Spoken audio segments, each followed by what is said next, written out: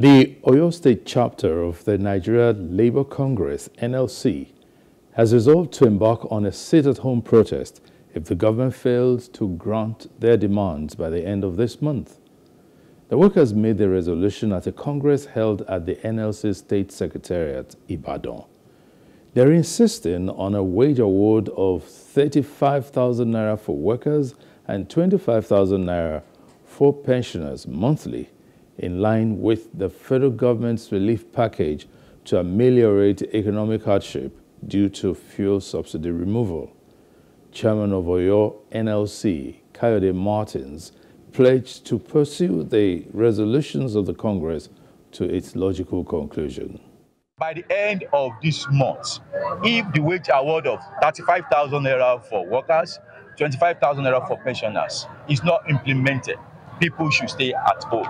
And that is what our people bought into and we declare. We're going to send the, the notice to the government and all the stakeholders, even the press as well, in a couple of minutes. That by the end of this month, if nothing is done, they all stay at home. We are just their mouthpiece.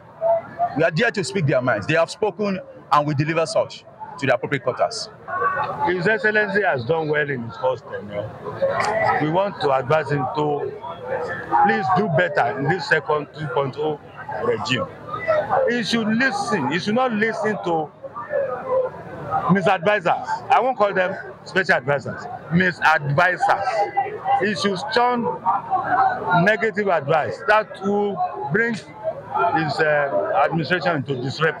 Speaking of wages salary for the uh, state worker, who is working for those people that their salary is not even wage contending at all. Imagine somebody going on with 17,000, 15,000.